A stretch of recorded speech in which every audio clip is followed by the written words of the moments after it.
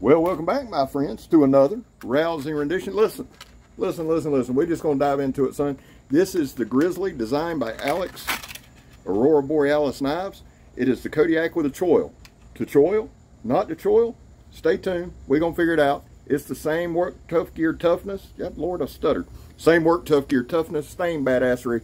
Let's go, guys. Come on. Yeah. Well, appreciate that, Scab. Listen, here's what I wanted to do with this video, guys. We're going to show a little bit of that toughness that Work Tuff Gear is known for. We're going to show using the choil some. Where I normally hold a regular grip, I kind of went with the choil just to see the difference. And I'm going to be honest with you. It's comfortable to me. And that's what a choil, for me, is about. Comfort and control. Strength has jack shit to do with it. I'm still plenty strong. A little older, a little slower, but just as strong as I've ever been. So strength's not there. For me, it's control. A choil has to be properly done, however, for me to enjoy it. I've got weirdo hands. Y'all know I do. So for me, it has to be well done. The forward cant on this knife, in conjunction with the choil, for me, just makes it perfect. Now, you see the sharpness there from Work Tuff Gear. I get a lot of comments, especially, I've got another video in it. It's the Night Hunter uh, short that's taken off. Every now and then I'll have one taken off and we're looking at a million views coming up soon. But here's the thing. Here's why I brought that up. Somebody will inevitably ask me, man, how do you sharpen? The thing is this with Work Tuff Gear. A lot of times when you see those shorts and you see paper cutting or you see bottle cutting or you see whatever cutting, dude, that's the factory edge. That speaks volumes. Now, at the end of this video, we're going to cut paper. I didn't want to open a video with cutting paper. I've got a ton of shorts doing that with this knife. It came in razor sharp. Y'all saw that right off the rip with that ratchet strap and rope. But at the end, we're going to see if it can still cut paper. And then we're going to do a quick strop and redo it. Now, right here, we're just putting some abuse on the edge. Be straight up honest with you. I love this choil. Now, for me, I love it. It's a personal choice. It's comfortable, and again, it's comfortable and it's control. A lot of times guys will say, well, that a knife's too big or big. I, I get so tired of hearing that. I really do. I like big knives. I can use a big knife. I have worked my whole life to build a skill set with a big knife. That choil lets me do that. Again, it's not strength. I can pull it through whatever. But with that choil, it allows me to pull through with certain control and manipulate it. Let's jump in real quick to this. There was a time in this country where 22 vets a day took their own lives. We talk about it every day. We'll talk about it every day till I'm off the air. Stats are everywhere. They just are. That's why here on this channel, we focus on the number zero. Vets, we love you.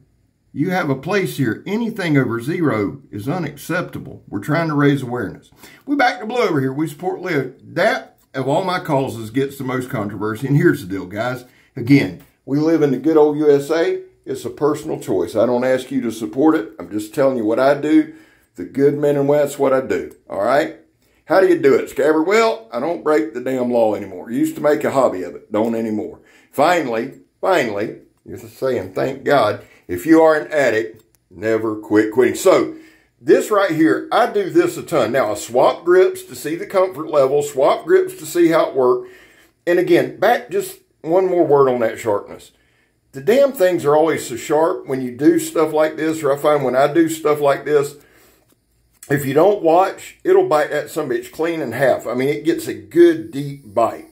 It's always a saber grind uh, with a micro convex cutting edge. Really, really, really conducive to, to slicing, cutting, chopping, whatever. Mr. Vic's got the magic formula. If it's not, if it's not his edge bevels, guys, it's his heat treat. If it's not that, it's the handle. I'm telling you, Vic Lynn has this thing down to a science. Now, this knife was designed by Alex from Aurora Borealis Knives. I absolutely adore Alex's designs. Why? Because it looks like a damn knife. I'll be 100% honest with you. Everything about this says knife, right? He makes them practical. The beauty is in the simplicity. He makes sure everything is lined up. He owns this design. And when I say that, I mean he has mastered this design. And I'll say this, the design lends to being able to use a big knife for certain tasks. Now, it comes with a Kydex sheath. Uh, it's MOLLE compatible. It has four hooks on it, so you can carry, I don't, bandolier style. I don't know what how y'all call that, but you can do whatever.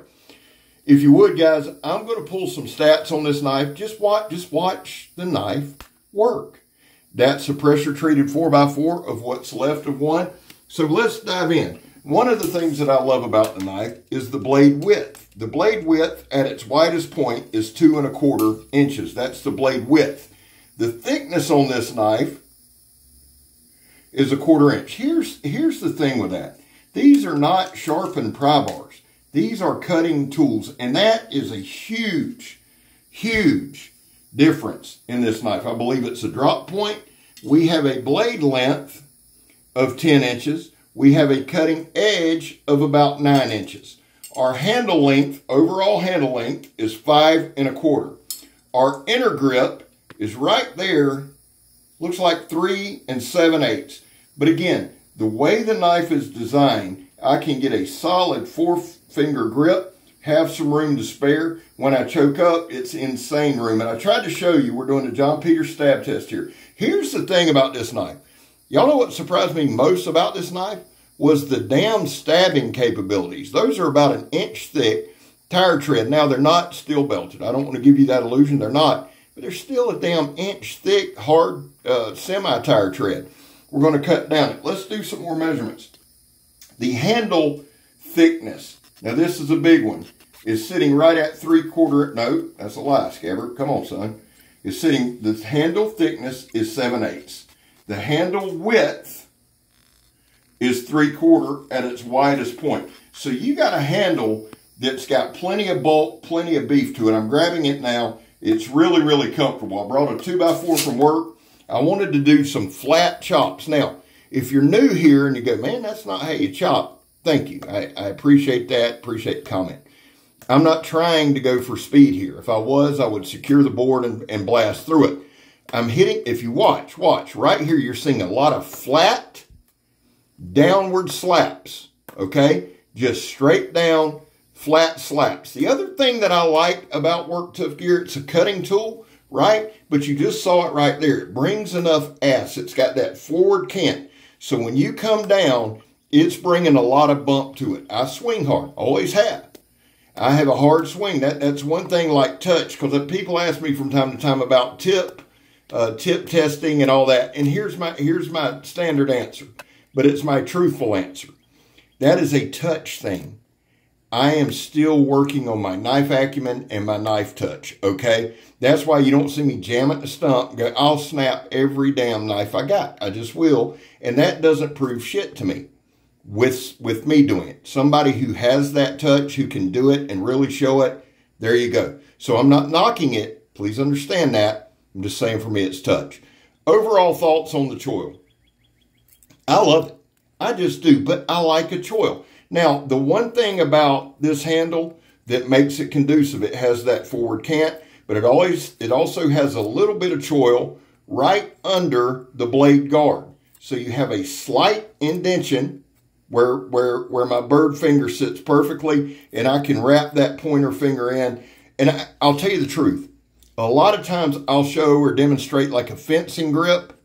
Now, real quick, 90 degree spine. If you'll just watch right below that board, you can see that duff coming straight off of there. Mr. Vic, again, again, kudos to Work Tuff Gear for actually making a true 90 degree spine. Yet, if I do the fencing grip, it's not uncomfortable. I adore this knife, but I adore the Kodiak. We got about a minute left. Listen, guys, I appreciate y'all choosing my channel to watch. God knows I do. I really, really, really do now. There's going to be another video coming out in a couple hours. I know this one's coming out a little late, and I know my raffle videos will come out late. We are raising money for Donnie B all day. He has some serious health issues.